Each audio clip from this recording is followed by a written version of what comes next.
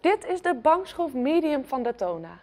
Deze bankschroef heeft een vaste en makkelijk te bewegen bek en is door dit draaimechanisme makkelijk los en makkelijk vast te draaien. Nou, doordat de bankschroef is gemaakt van een hoge kwaliteit staal, heeft dit een lange levensduur.